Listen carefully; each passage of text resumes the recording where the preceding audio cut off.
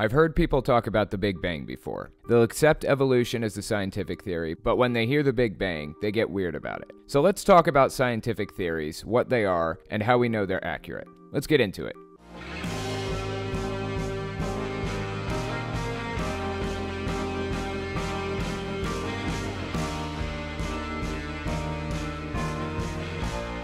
So, what is a scientific theory? A scientific theory is a well substantiated explanation of some aspect of the natural world based on a body of facts that have been repeatedly confirmed through observation and experiment. So, take a look at the germ theory of disease. They had scientific theories before germ theory, which started to gain ground just before the 19th century. Before that, they had miasma theory, which was the idea that cholera, chlamydia, or the Black Plague were caused by air pollution coming from rotting organic material like dead animals or something. Eventually, Robert Koch came along and developed criteria to demonstrate that a disease is caused by specific organisms. Here's what he came up with 1. The microorganism must be found in abundance in all organisms suffering from the disease, but should not be found in healthy organisms. 2. The microorganism must be isolated from a diseased organism and grown in pure culture. 3. The cultured microorganism should cause disease when introduced into a healthy organism.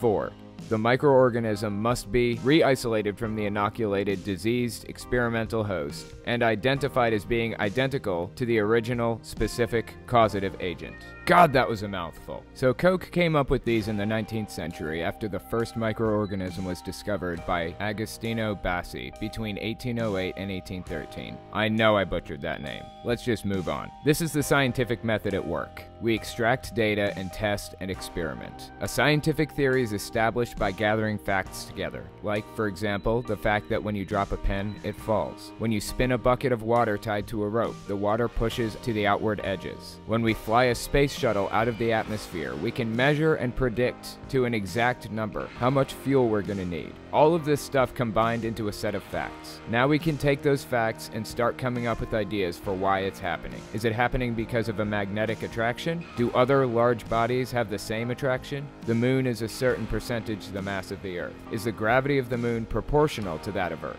We start testing these ideas to see if they're true, one after the other. It isn't magnets because a plastic or aluminum space shuttle is attracted to large bodies just as much as an iron or a steel one. That's called falsifiability. To be a theory, it has to have that quality. There must be some way of falsifying it. If we found rabbits in the Precambrian layer of the fossil record, it would falsify evolution. But at a certain point, theories get formed out well enough that the falsifying doesn't destroy the theory, it's just modified to account for the changes. So if we found a set of planets that didn't have a gravitational pull, it wouldn't invalidate the entire theory of gravity. We 100% for sure got some things right with it, but we'd modify it so that it described the newest observations. Same with evolution. There are large swaths that will never be invalidated. They're just facts. We observe gene mutations in natural selection. Those are facts. We just compiled those facts into a theory that describes what's happening in detail. But that's the best thing about science its malleability, its readiness to change. Scientists look at new research papers with skepticism. They don't believe what's in them by default. They're published in peer reviewed journals, and other scientists across the world replicate the experiments. If somebody gets different results, the research paper is invalidated and pulled. If somebody overturns a major theory, they become famous. It's every scientist's greatest dream to overturn a major theory.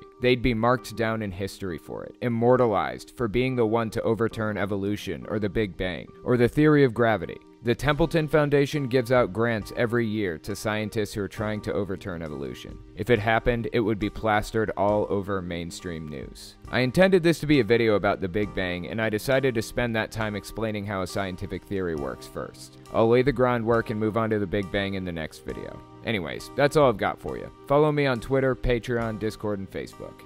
Thanks for watching, guys.